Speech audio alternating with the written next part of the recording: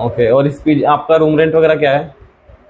एक स्टूडेंट है spring board के, जो इस पीजी के अंदर पढ़ते हैं। अभी इनसे पीजी के बारे में पूछते हैं, थोड़ा बहुत।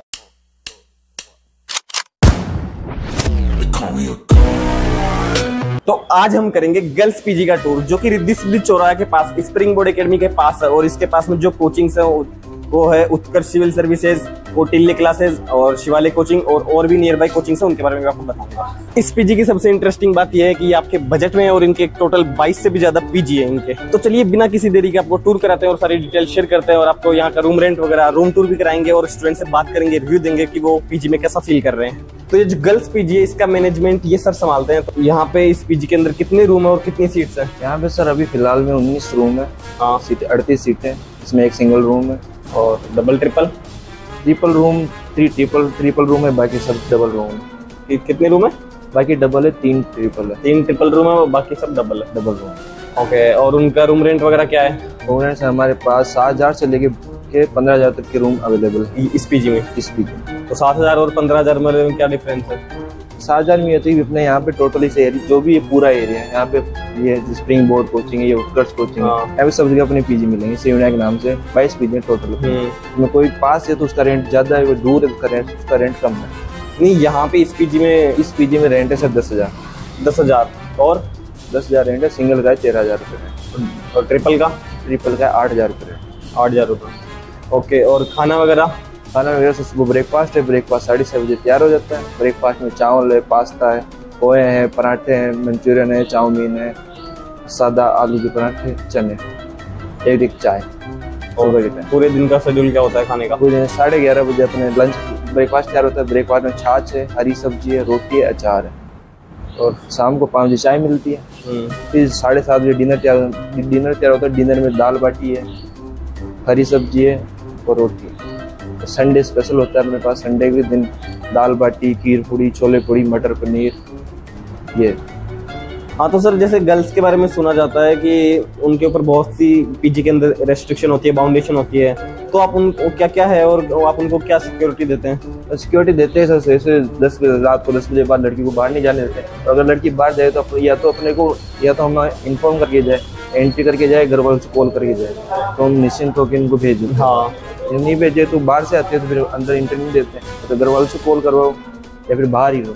और और सुबह पाँच बजे गेट खुल जाए तो वही पाँच बजे बाद इंटर करो गेट के अंदर। हाँ। तो एंट्री हर लड़की एंट्री होती है वैसे सिक्योरिटी लिए कैमरे लगे हुए सभी जगह। ये हाँ। कैमरे और कोई बाहर से अलो है या नहीं है आने बाहर से सिर्फ़ लेडीज़ या कोई फ्रेंड हो तो बस वो भी सिर्फ़ दिन दिन के लिए अलाउ है। नाइट के लिए वो भी अलाउ है। और कुछ जैसे लड़की का कभी कभी ये पीजे में पार्टी वार्टी करती है तो उस पर भी तो अलो नहीं है। अलाउ तो चलिए अब रूम टूर करते हैं और आपको जो वहाँ पे स्टूडेंट्स हैं अभी गर्ल्स हैं उनसे रिव्यू लेंगे कि वो रूम रूम के बारे में वो थोड़ा डिटेल में बताएँगे और आपको कुछ अगर डाउट रह गया हो तो, तो आइए। चैनल को सब्सक्राइब करो पहले। हाँ जल्दी करो। मुझे पता है कि आप लोग नहीं करते वीडियो देखते हो लेकिन सब्सक्राइब नहीं करते। लाल कलर का बटन नहीं से दबाओ। जल्दी दबाओ। जल्दी दबाओ फिर मैं शुरू करूँ। दबा दो जल्दी। दबा दिया। घंटी भी दबा देना ठीक। सो so, अभी हमारे साथ एक स्टूडेंट है स्प्रिंग बोर्ड के जो इस पीजी के अंदर पढ़ते हैं। अभी इनसे वो पीजी के बारे में पूछते हैं थोड़ा बहुत कि ये पीजी में रहकर कैसा फील कर रहे हैं। तो सबसे पहले आप मैम अपना इंट्रोडक्शन दे।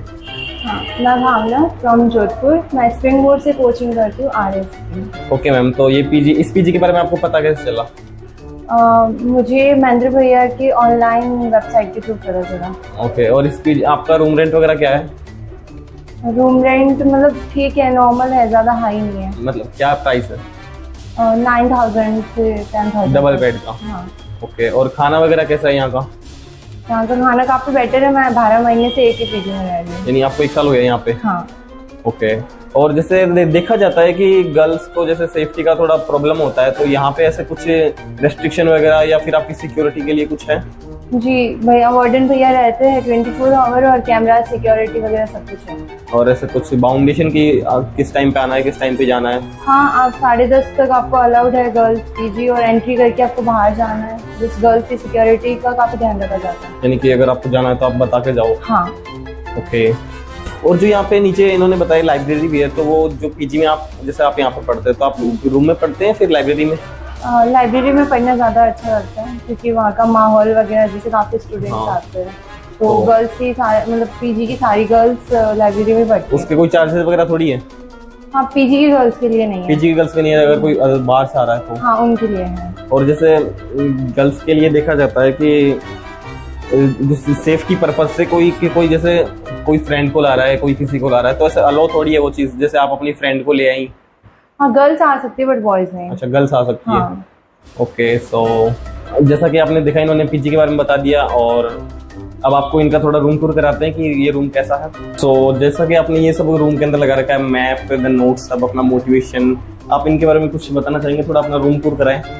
या एक्चुअली मोटिवेशन थॉट्स बिकॉज़ अपन जब भी नेगेटिव हो जाए या फिर हम्म। अपन को ऐसा लगे कि अपन को थोड़ा मतलब कॉन्फिडेंस की ज़रूरत है तो उसके लिए थोड़ा मोटिवेशन होना ज़रूरी है। ये है हमारा आरपीएससी का सिलेबस जिसे हम रेगुलर देखते हैं तो हमें याद रहता है कि कितना पढ़ना है कितना नहीं।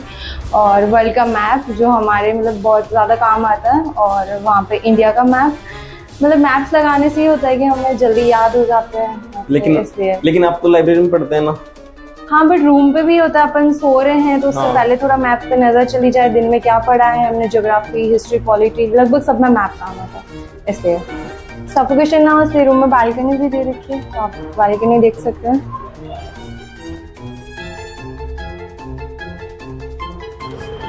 मेन रोड से पास में ही है ये तो।